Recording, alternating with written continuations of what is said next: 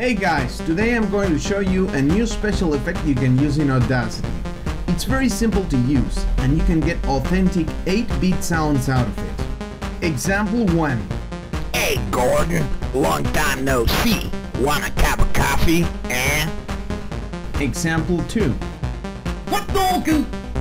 As you can see, you can get those nostalgic pieces back from memory and add the effect to your own phrases.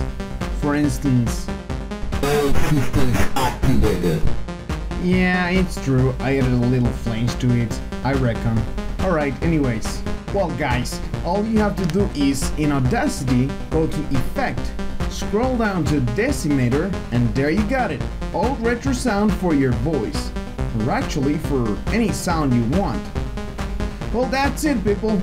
Hope you enjoyed this tutorial, and now get your hands busy. In the good sense, of course.